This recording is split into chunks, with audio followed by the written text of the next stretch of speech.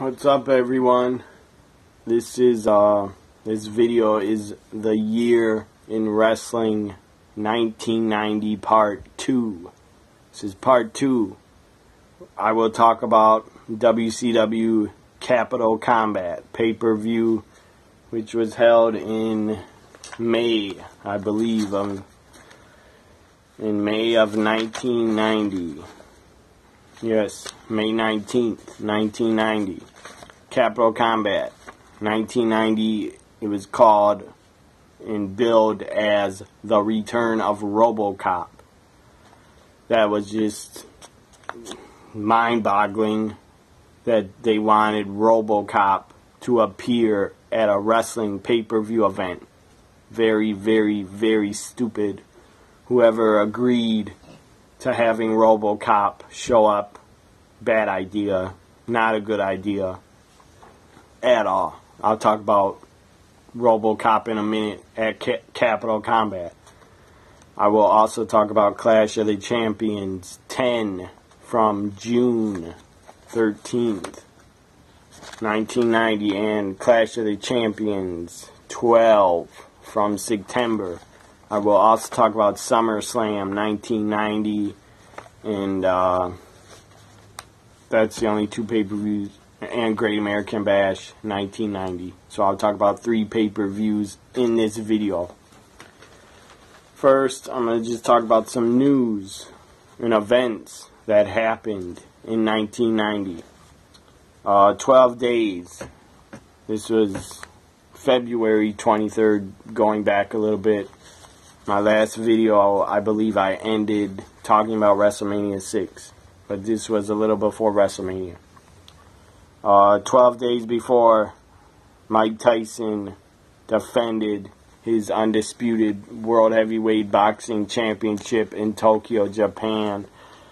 Uh, he lost. Everybody knows Tyson got knocked out in a shocking upset and lost his title to Buster Douglas. Anyways, Buster Douglas replaces Mike Tyson as a special guest referee on a Saturday night's main event. Buster Douglas was the referee during the Randy Savage and Hulk Hogan match on NBC. Tyson was originally scheduled to serve as a special guest referee, but uh, yeah.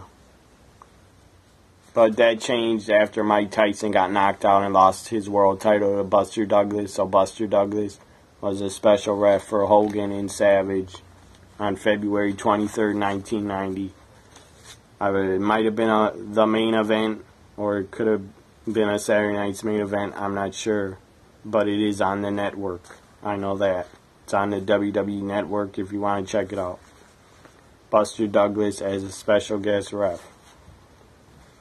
April 13th, 1990, right after WrestleMania 6, you had All Japan and New Japan and the WWF put on a combined show in the Tokyo Dome. So, All Japan, New Japan, and WWF were all involved in this show. Top matches on the show were Hulk Hogan against Stan Hansen. Stan Hansen was in Japan for a lot of years. He was super over. Japan loved Stan Hansen. He's a legend. And uh, Stan Hansen, I think, should get in the Hall of Fame very soon. Because Stan Hansen deserves it. Anyways, Hulk Hogan took on Stan Hansen. I believe um, Macho King was on the show also. Jake the Snake Roberts was on the show. Ted DiBiase was on the show getting a title shot against the Ultimate Warrior, the newly crowned WWF champion at the time. The Warrior ran down to the ring in the Tokyo Dome with the WWF championship around his waist because he just beat Hulk Hogan for it. Other matches on uh, New Japan, All Japan WWF, Tokyo Dome show were Bret Hart versus Tiger Mask. I believe it is Tiger Mask 2 or 3, I'm not sure. One of the Tiger Masks. And then uh, May 14th, 1990, I believe this, yeah, the second Tiger Mask took his mask off in the middle of a tag match in the Tokyo Dome to re reveal his identity. Why did he do that? I don't know. Maybe he was not going to play Tiger Mask anymore, so that's why he did it. And maybe they brought in a new Tiger Mask. Probably Tiger Mask 3. There's so many Tiger Masks. I don't know what happened, but he took his mask off in the middle of a tag match.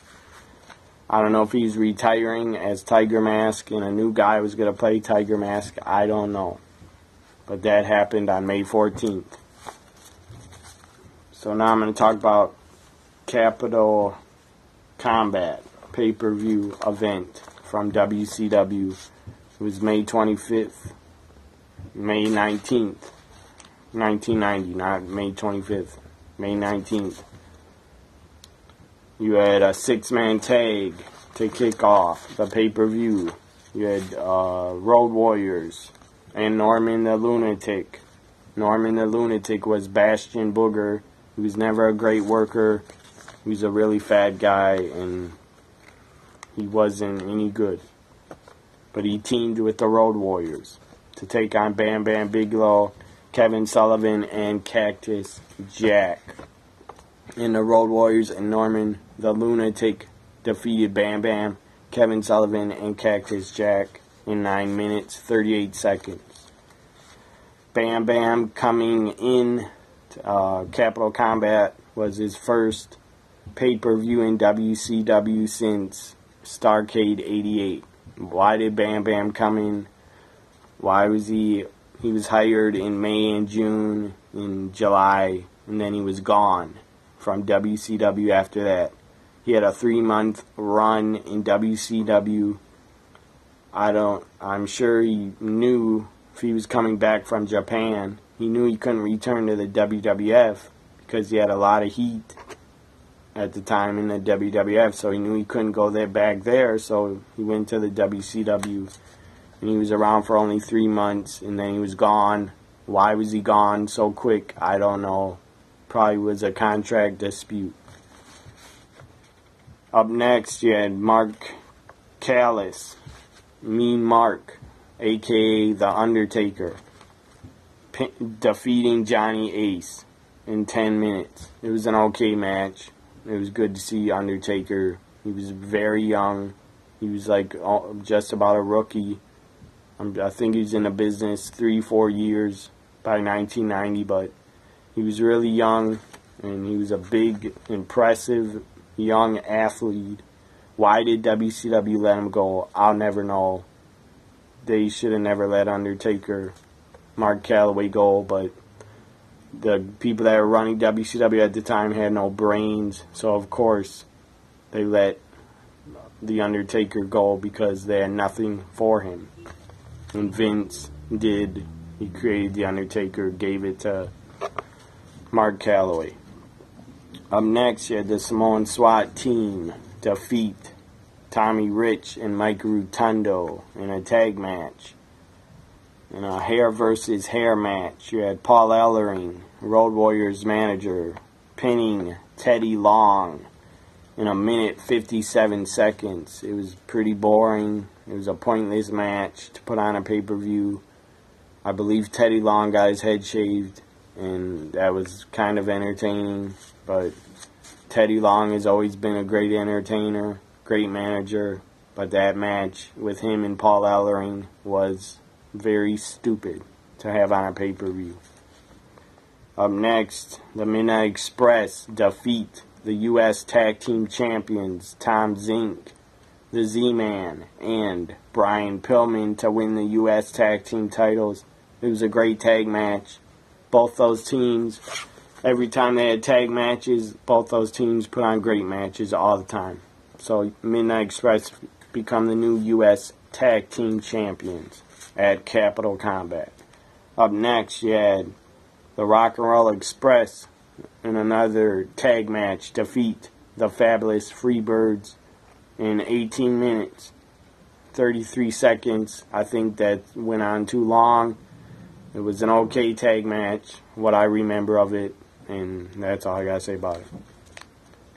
Up next, you had Doom with their manager Teddy Long. Doom was the team of Butch Reed and Ron Simmons defeating the Steiner brothers for the World Tag Team title. So Doom becomes the new WCW Tag Team champions, and after they won the tag titles, they had them for a very long time, almost a year, over a year.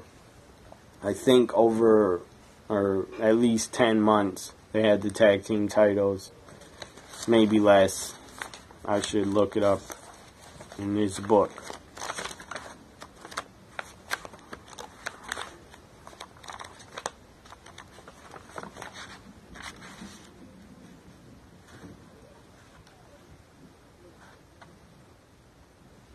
So Ron Simmons and Butch Reed Doom won the titles May 19th, 1990, and they lost them on March 9th, 1991. So that's a 10 month title run, very long run. And Do- the team of Doom was a great team. Steiner's also a great team. Steiner's one of the greatest teams in WCW history, in my opinion. So you had new U.S. Tag Champs, new Tag Team Champs on Capital Combat. Uh, up next was the main event NWA or WCW NWA World Heavyweight Champion Ric Flair defending the title against U.S. Champion Lex Luger in a Thunderdome cage match.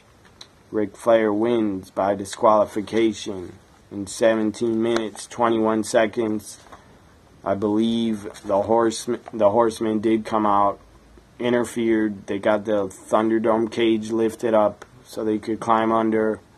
And uh, I think Barry Windham and Arn Anderson got in the cage, started beating on Lex Luger. They put the cage back down. Sting, he was out with an injury still when he hurt his knee at a Clash of Champions 10. Sting was still injured, but he could walk, and he was getting healthier and healthier. Sting comes out to try to get in the Thunderdome cage with El Gigante, giant, giant of a man, a real giant in the history of wrestling. El Gigante was like seven foot seven. They build him as seven foot seven. I don't know if he's really seven foot seven that seems, I think they made that up. He probably wasn't, but maybe he was that tall. I never saw him in person, so I don't know. I just saw him on TV. Anyways, El Gigante debuted, walked down to the ring with Sting, dressed in some really god awful wrestling gear. He had like a headband on and he had all these sparkles, uh, gray sparkles with red and his outfit in wrestling gear was god awful. Looked like he was some character out of Star Wars. Anyways, El Gigante and Sting come down. They can't get in the cage. The four horsemen then push Sting in a tiny little cage, in like a shark cage. They push Sting in a shark cage, close the door on him. The door would not even lock, folks. They didn't have a lock on the door, so it was very stupid to put Sting in a cage. Because Robocop, then Robocop comes out, walks down to the ring to save Sting. I guess they wanted Robocop there just to save Sting. Very stupid idea to have Robocop involved in on a wrestling pay-per-view. Very stupid idea. Just idiotic and pointless. But uh, RoboCop movies, I enjoyed them. I I loved RoboCop. Part one and part two were good. Part three was not good, but I enjoyed part one and two. And the new RoboCop, even the remake, I enjoyed. But that's because I was a RoboCop fan of the movies when I was a kid. So I enjoyed the remake of RoboCop. I know a lot of people probably did not. Back to Capo Combat, RoboCop comes out, tries to get Sting out of the cage, basically starts bending the bars, which looked like just very weak and cheap plastic. RoboCop bends a bar like that. Like he has some magic powers and he, he's super strong, so he bends the steel bars, and they were not steel. And then basically when he bent the bar there was no lock on the door and the door basically was already off the hinges and it was never it never had hinges. The door just falls off and robocop basically moves the door and sting gets out of the cage.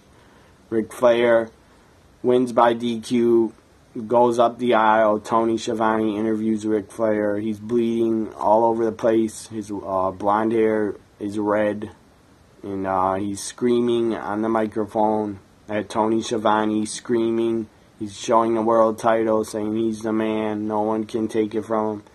And then Sting gets to Ric Flair in the aisle, uh, knocks him over, starts drilling Ric Flair with right hands, and gets broken up. And that's the end of Capital Combat. Was a decent pay per view, wasn't the best, but there were uh, like three, two good tag matches on it. And the world tag titles and U.S. tag titles were good. And the main event, Lex Luger and Ric Flair, was good because Ric Flair always brought the best out of Luger, and they put on a good match inside a Thunderdome cage. So Capital Combat was okay, wasn't that bad. Up next, talk about Great American Bash 1990 WCW pay per view from Baltimore, Maryland.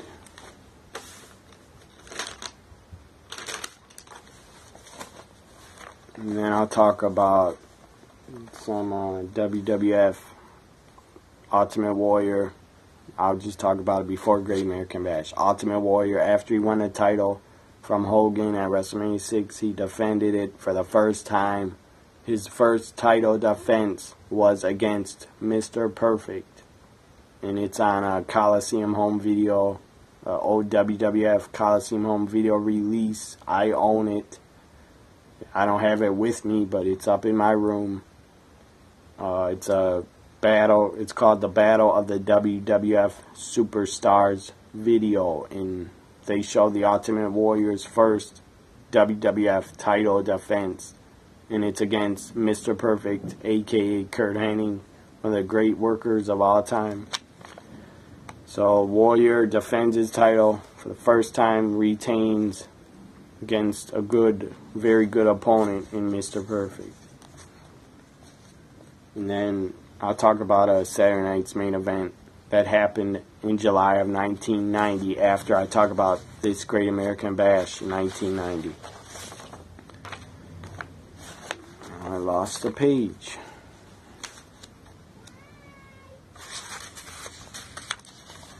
Okay, dark match.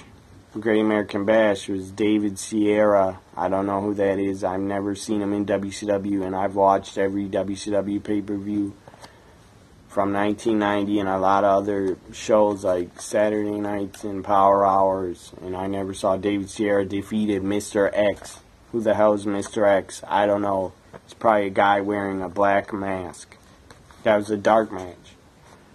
Thank God it wasn't on the Great American Bash pay per view. But there were a few matches on the Great American Bash. There were two that I can think of off of my head, two that should have not been on the pay per view. First match is Brian Pillman defeated Buddy Landel. Thank God, because Buddy Landel calling himself the Nature Boy, this is what I thought of that. Buddy Landel sucked. I was never a fan of his. He was an okay wrestler, but I was never a fan of the guy.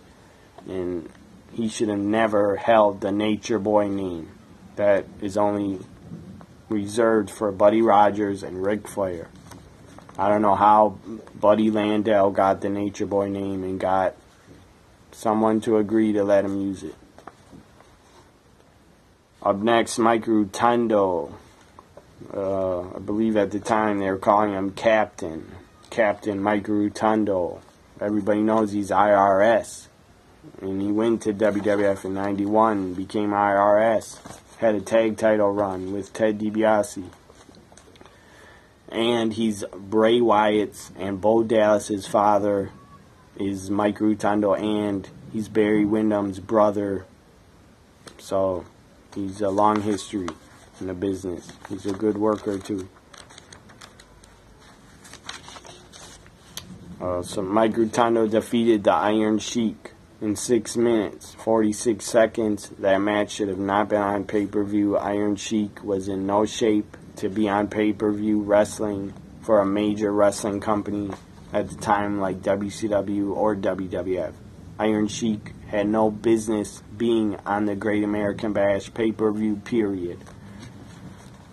Uh, uh, thank God it was only six minutes long. Up next, Doug Furnas.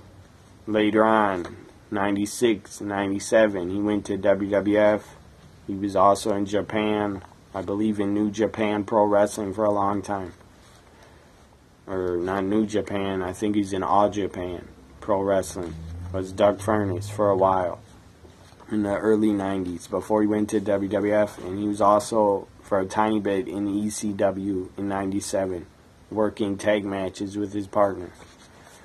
Doug Furnas defeated Tommy Rich in six minutes. Tommy Rich should have not been in the ring. He didn't look healthy, and it was awful. But glad Doug Furnas got the win. He's a great athlete and a talented guy. Up next, the Midnight Express defending the U.S. Tag Team titles in a good tag match. Defeat the Southern Boys in 18 minutes. The Southern Boys were, what's his name? Tracy Smothers worked in ECW as a FBI member. Tracy Smothers also worked in the WWF as Freddie Joe Floyd in 96, I believe. So Tracy Smothers was in WCW in 90, 1990 and 91. In 92 as the Southern Boys. And they were a pretty good team. They worked well together. His tag partner, I believe, was one of the Armstrong brothers. I think it was Scott Armstrong. I'm not positive, but it was one of the Armstrongs. It might have been Steve. Steve Armstrong was Tracy Smothers' partner, and they were the Southern Boys. The Midnight Express defeated them to retain the U.S. tag titles. It was a good tag match. And it went 18 minutes long. Check it out if you have the network.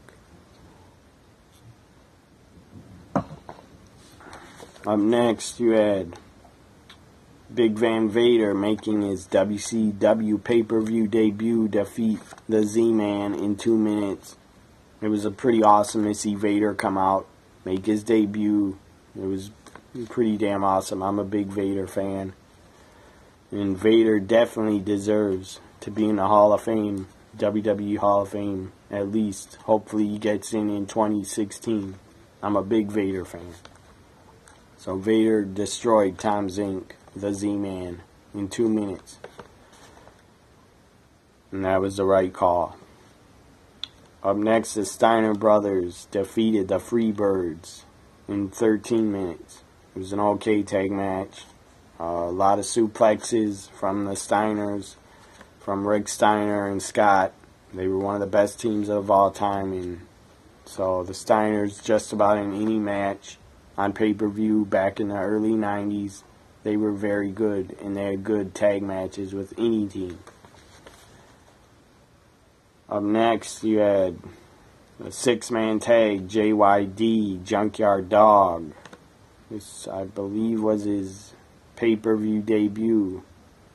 He did. He was at Capital Combat 90 in an interview segment with Jim Cornette, but he didn't wrestle. So JYD, he was pretty out of shape, but he was uh, he was still over with the crowd. I think he's in his early 40s or maybe 39 or 38 years old at the time of the Great American Bash 90.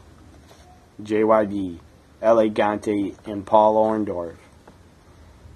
defeated the four horsemen of the team of Sid Vicious, Barry Windham, and Arn Anderson by disqualification in 8 minutes, 53 seconds. It wasn't that great of a six man. The only guy that could work on uh, the babyface team was Paul Orndorff, and JYD was not really a great worker at this time in 1990. In the summer of 1990, he was not a great worker. But Paul Orndorff still could go. Uh, Sid could go. He was a young young guy in the business at the time. Barry Windham could go, and Arn Anderson could go with anybody. So they win by DQ against the Horseman. Up next, Lex Luger defending the U.S. title defeated Mean Mark Callous for the U.S. title, and he retains. And it was an okay match. Undertaker was very young in it.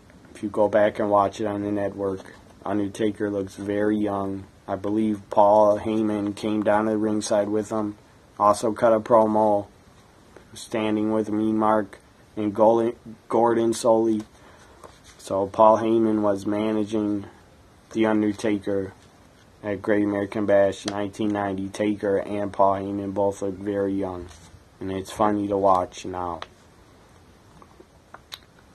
Uh, Doom tag team titles on the line. The team of Doom defeated the Rock and Roll Express. It was a good tag match.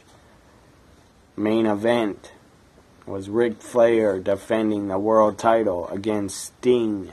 And this was passing the torch. Ric Flair, the Nature Boy, passed the torch to Sting and really helped out Sting by losing to him and giving the world title to Sting. It basically skyrocketed. Sting's career was already, everybody knew already, Sting was going to be a star. But him defeating Ric Flair just put him on top of the mountain in the wrestling world. And Sting won his first world title, Great American Bash, July 7th, 1990. Uh, another funny thing about Sting winning a world title, his tag team partner, the guy he started with in the wrestling business, the guy he started with, the Ultimate Warrior. They started as a tag team, the Blade Runners and they worked in Mid South Wrestling, UWF. UWF was Mid South, but I guess they changed the name to UWF. They worked in Memphis territory where Jerry Lawler was and Jerry Jarrett was. So to have two guys, Sting and Warrior, they started the business together. They started in the business together as a tag team to have them both in the year of 1990, to have both of them win world titles is very impressive and pretty damn cool. Warrior won it before Sting in uh, April 1990. Warrior got the world title first, and then in July 1990, Sting got his first world title. So that's pretty damn awesome, I think. Pretty damn cool story. And Sting said, on uh, the documentary on the Ultimate Warrior after he passed away. I forgot what it was called, but it's on the network and it's a Warrior documentary something. I don't remember the name. But it, on the Warrior documentary, Sting brought up when he watched and saw Warrior win his world title from Hogan, Sting said he was jealous. Jealous. And I don't blame him. I would have been jealous too. So that was pretty cool for Sting to say when after he watched it and watched Warrior win the title he, that he was jealous. And I believe Sting would have been a huge star if he would have worked for WWF and went there in 89 or 90. He would have been a huge, huge star, way bigger than he was in WCW because they didn't have the audience that the WWF had until 96, 97, 98. So Sting wins a world title. That was fucking great, I thought. And I really enjoyed it. I was already a Sting mark But him beating Ric Flair just made me become more of a Sting fan. Up next, I'll talk about Clash of Champions from June 13th. I know I just talked about Great American Bash. I was in July, but I'll go back to June. Talk about Clash of Champions 11 from Charleston, South Carolina. First match had the Southern Boys defeat the Freebirds. Decent tag. Crowd for uh, Clash of Champions 11. It was a great crowd. Hot crowd. They were really into all the matches and the whole show. When the crowd's into the entire show and a lot of the matches, it makes the entire show better and it makes it just way better to watch when a crowd's into a show. Up next, Tommy Rich defeated Bam Bam Bigelow, Bam Bam Bigelow. One of his last appearances, I believe, was at Clash of Champions 11 because after Clash of Champions 11, I didn't see Bam Bam on any other WCW pay-per-views. For the rest of 1990, Bam Bam did not appear until uh, World War III in 98. He came back, feuded with Goldberg. Up next, you had Mike Rotundo and Tom Zenk defeat the Samoan SWAT team. And then up next, you had Mark Calaway, The Undertaker, defeat Brian Pillman. Pretty good match. Could have went a little longer. Up next, very good tag match. Uh, it's on the network. Rock and Roll Express defeat the Midnight Express by DQ, but it was great tag team wrestling for sure. It's on Clash of Champions 11 if you want to check it out on the network. Check out Midnight Express Rock and Roll. That's a great match. Best match on Clash of Champions 11. Up next, Barry Windham defeated Doug Furnas. And then you had a U.S. title match. Uh, Lex Luger defeated Sid Vicious very fast. Yeah, I think it was under a minute, or it may have been a minute 20 seconds. I don't know why. Sid must have been injured because Lex Luger ran in the ring. I believe he clotheslined Sid and pinned him one, two, three, and retained the title very quick, very fast. That was pretty stupid, but they must have done it for a reason. NWA Tag World Tag Team Champions, or, or whatever they were calling them, WCW Tag Team Champions, Doom defeated the Steiner Brothers. Very good tag match. It's entertaining as hell to watch. And it's on Clash of Champions 11. Paul Orndorff pinned Arn Anderson. And then you had in the main event Ric Flair defending the world title before he lost it a month later to Sting. Ric Flair defended against the Junkyard Dog. So JYD got a title shot and beat Ric Flair by disqualification when Ole Anderson interfered, one of the horsemen. And then you had a lot of guys come out. Lex Luger came out. I think Brian Pillman came out and they were all fighting against the horsemen. The dudes with attitude, they were calling them. JYD, Paul Orndorff, Sting, and the Steiners, I believe, were the dudes with attitude. And then, uh, anyways, they're fighting the horsemen. Rick Sting comes out. He was, he might have been a little bit injured still, but a month later, he was ready to go again and wrestle and he did wrestle his first match at Bash 90. Sting comes in the ring. He looked healthy, and they closed the show with Ric Flair backing down in the corner, cowering away from Sting, basically going like this, don't hit me. And then he starts chopping Sting, chopping him on the chest. Sting gets fired up, basically fires himself up. The crowd's with him. Gets in the corner, starts pounding on Ric Flair punching him in the face over and over and over. Hip tosses him out from the corner, hip toss, same spot they've done for years and years in all their matches. And Sting may have even backdropped him or drop kicked him. And then Clash of Champions 11 ends. It was a good show, pretty entertaining show. If you have the network, check it out. Clash of Champions 11. Up next, I'll talk about Saturday night's main event from July 1990. I don't have every match in front of me. The only match I'm going to talk about that I think is worth talking about is Ultimate Warrior defending the WWF title against Rick Rude. It happened on July 1990, Saturday night's main event for the WWF Championship. And uh, Rick Rude and Warrior always had great matches. I think that was thanks to Rick Rude because he was a great fucking worker and uh, just a tremendous talent. So Warrior defends against Rick Rude. I believe he pinned him clean. I don't think it was a DQ, but it could have been.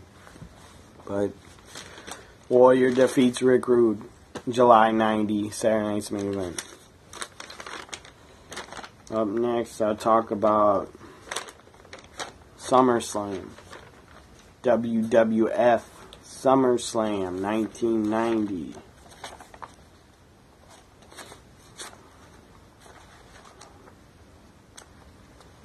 I didn't write the matches down, so I'm reading them out of this book I have. It shows every pay per view WWF and WCW ever put on up until 2002.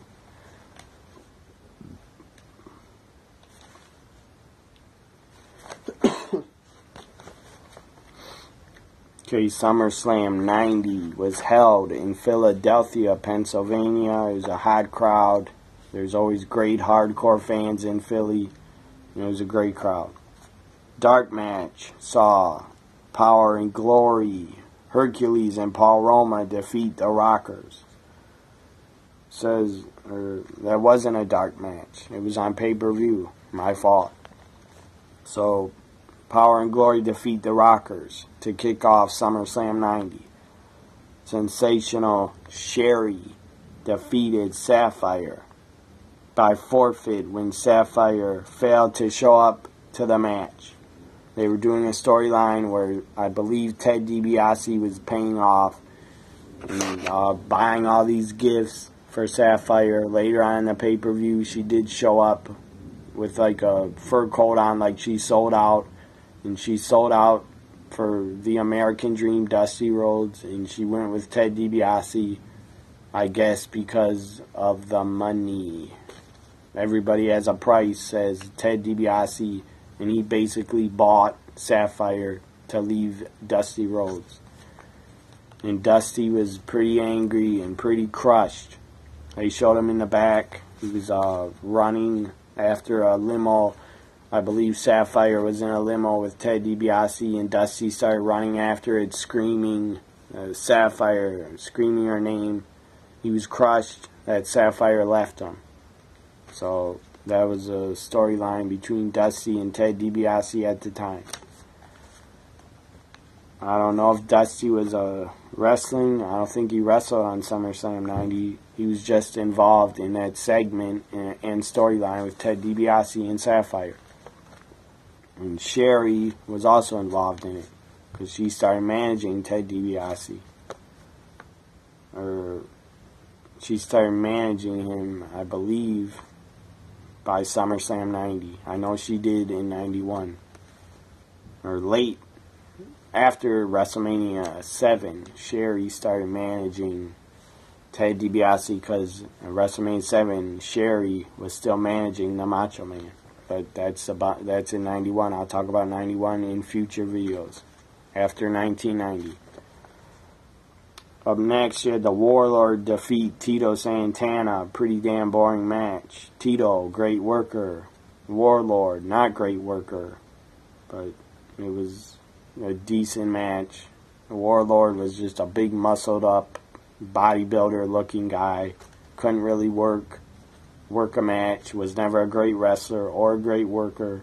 Tito Santana was. Former Intercontinental Champ, former Tag Champ, Hall of Famer so I just I felt bad for Tito that he was even in a match with the Warlord and had to try to pull a good match out of the guy because the Warlord could not work. in my opinion. Not saying I could work, but I think I could do better than the Warlord. Up next, Jake the Snake defeated Bad News Brown in four minutes. Big Boss Man was the guest referee for that match. And Big Boss Man was a babyface at the time of SummerSlam 90. Nikolai Volkov and Hacksaw Jim Duggan were tag team partners. They defeated the Orient Express in uh, three minutes, two, 22 seconds, very quick match. Shouldn't even been on the pay per view SummerSlam. Randy Savage defeated Dusty Rhodes, so Dusty Rhodes was on SummerSlam 90. Uh, Randy defeated Dusty in 2 minutes 15 seconds. I believe Dusty Rhodes was counted out, or maybe he was pinned. I don't remember. Anyways, Dusty Rhodes had his mind on other things. He had his mind on Sapphire and where she, where she was and what she was doing with Ted DiBiase. So that's probably why Dusty lost so fast to Randy Savage. He probably ran off to the back to look for Sapphire and got counted out. I'm not sure if he's counted out. Maybe I should watch it back tonight. Kerry Von Erich, the Texas Tornado, legend, great worker. Kerry Von Erich was when he was straight and not on drugs. He was a great wrestler, great worker. Kerry Von Erich defeated Mr. Perfect to win the Intercontinental Championship. Uh, crowd loved it. They popped huge. They loved Texas Tornado winning the IC title. Uh, best two out of three falls, or best of three falls match, whatever that means. Same thing as two out of three falls, in my opinion. Best of three falls match. The Hart Foundation were the challengers defending the demolition, not defending, Hart Foundation was taking on the Demolition for the tag team titles. At this time of SummerSlam 90, they made the Demolition were the team of three guys, which was stupid. I love Demolition just with Axe and Smash alone as a team. And then they had to make Demolition a three man team and add Crush. Crush was a young guy, big guy. Uh, he looked impressive and he did have some athleticism and some wrestling skills. So they added Crush to the demolition team. They were a three man team. I believe Axe was hiding under the ring during the match. He actually came out during the match, or they might have cheated. I think they did. Of course, Demolition did cheat because they were a three man team during the match and they got a fall on the Hart Foundation by cheating. And then I believe Bret or the Anvil, Jim Neidhart, the Anvil, Jim Neidhart, one of them pulled Axe out from under the ring and he was exposed from hiding under the ring. And also during this match, you had the Road Warriors basically making their WWF pay per view debut. They weren't wrestling, but they did show up. So, where's this page now? Okay, Road Warriors did show up during this tag title match. They came out, I believe they drilled Crush. That was Crush was on the top rope. They drilled him with a clothesline, and he fell, and he uh, straddled the top rope. So he was injured. And then the Hart Foundation pinned and defeated the Demolition to win the WWF Tag Team titles from Demolition. Road Warriors help helped Hart Foundation. Helped out for sure of them winning the tag titles. And then in the back, I don't know who was interviewing them. Could have been Sean Mooney or Gene Okerlund. They did an interview with the Hart Foundation and the Road Warriors together it was a classic promo, great interview by uh, Hawk and Animal. They always had great, clever stuff that they said in their interviews. So, Hart Foundation win the tag titles. Up next, you had the steel cage match, main not the main event, but it was close to the main event. It was like a double main event. I believe is a double main event they were calling SummerSlam 90. Steel cage match for the WWF Championship. The Ultimate Warrior defeated Rick Rude in 10 minutes. Should have went longer. Could have went longer, but it didn't. Uh, it was a great match. What I remember of it, it was a damn good match. Rick Rude, great worker, could pull a good match on any anybody just about. So Ultimate Warrior retains the WWF title, defeating Rick Rude in the steel cage. Main event, last match. Hulk Hogan defeated the Earthquake by countout in 13 minutes, 16 seconds. What I remember about that, that match is a Big Boss Man coming out. I believe it was a Big Boss Man. I haven't watched SummerSlam 90. I haven't watched Earthquake versus Hogan in years and years. So I'm just going off the top of my head. I could be wrong. I believe the Big Boss Man came out, uh, drilled Earthquake really hard with a plastic chair on his back, and drilled him in the back with a hard plastic chair. And uh, Earthquake had these red lines across his back. His back was basically bleeding. Looked like he had a rash on his back from getting drilled with really hard by the big boss man in that plastic chair. So I remember Earthquake having these giant red marks and giant scratches and blood on his back from getting hit by the boss man. And uh, it was a classic Hulk Hogan match. Uh, you had a monster heel to work with Hogan, and it was great. And Hogan wins by countout. Good decision to have Hogan win by countout to make the earthquake, which he was new at the time in the WWF, to make the earthquake still look strong. Uh, earthquake was on WrestleMania 6, so he was there already for a while and I believe he debuted in maybe late '89. Uh, I don't know, but Earthquake was a great guy, super nice guy. From what I've heard, it's a damn shame he passed away. I think he's in his uh, early 50s or early 50s or late 40s. He was a young guy. Damn shame he passed away. So that was SummerSlam 90 pretty damn good show. You had an IC title change, you had a tag team title change. The crowd was great. They were into the entire show. And uh, that's the two matches that stand out to me. Hart Foundation winning and Texas Tornado winning and Rick Rude and Warrior in a cage. That was a great match also.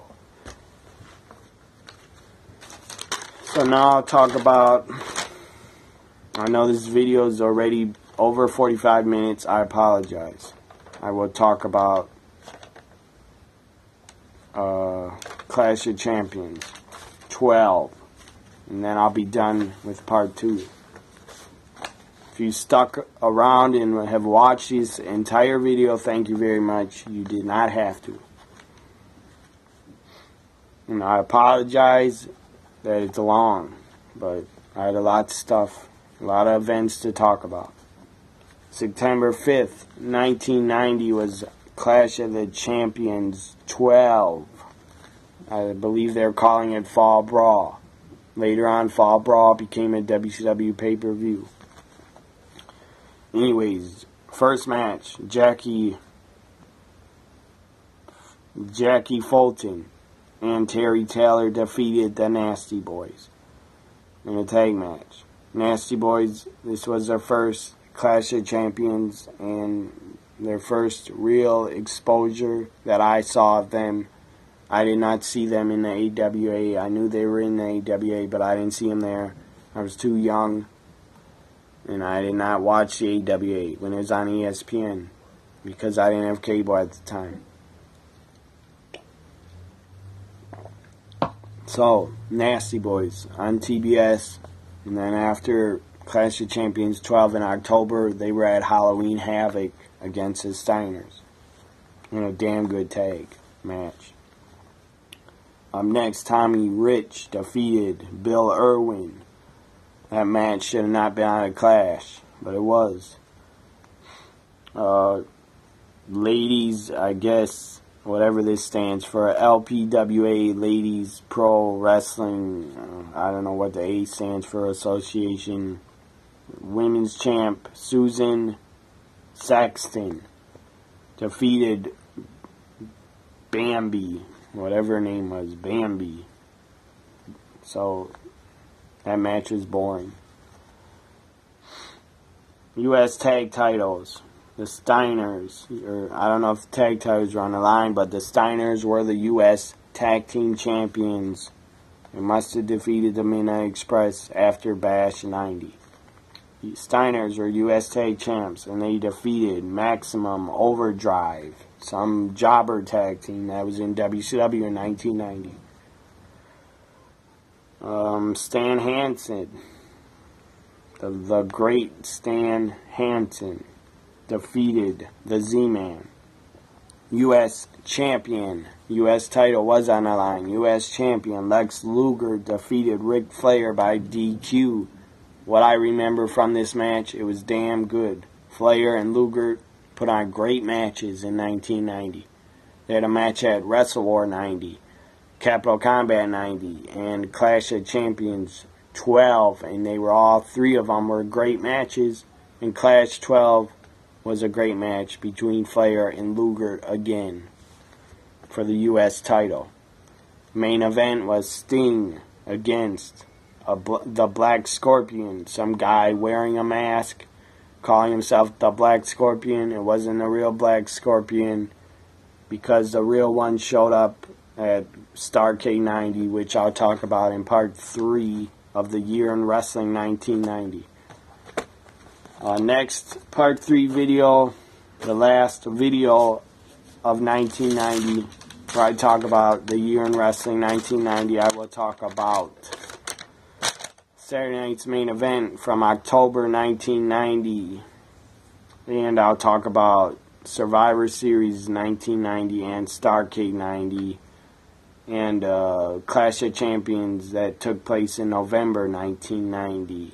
All these events, I've talked about all the Clash of Champions, Saturday night main events, WCW pay per views, WWF SummerSlam 90. You can watch them all on the network um, I'm not promoting the network. Well, maybe I am. Maybe some will say I am, but the network is only $9.99. If you're a hardcore wrestling fan and you got the, the time, you got free time to watch, get the network. It's got everything on there. A lot of stuff on there. I wish they put more Raws from 97 and uh, Raws from 99 in 2000, but they won't. They only have a very a couple from 97 on there. They have the entire year 96, but I'm not going to watch the entire year of 96. I've only watched a few from 96. 95 Raws they got in there, 94 Raws they got in there, the entire years. In 93 they got the entire years. I have not I've only watched probably one or two 1995 Raws. 1995 was a pretty boring, bad, bad year for WWF. It was not a good year to be watching and to be a fan of WWF, but I was still a fan. I watched all their pay per views in 95 because I was like 11 or 12 years old and I was a kid and I was still into WWF. Even though their gimmicks that I look back on now were god awful. And they were running in their entire show was gimmick city. You had Doink the Clown, Duke the Dumpster, all that crap. I mean Mantaur, Aldo Montoya, all that stupid shit. There was too many gimmicks, too cartoonish, but I still watched in 95 because I was a HBK fan and I was a Diesel fan. I'll admit it. I was a Diesel fan. So, part three, uh, it will be coming up I will be uploading part three of 1990 probably on Saturday or Sunday this weekend. If people want to check it out, this was part two of the year in wrestling 1990. If you watched it, thanks for watching. If you follow me on Twitter, thank you for following me.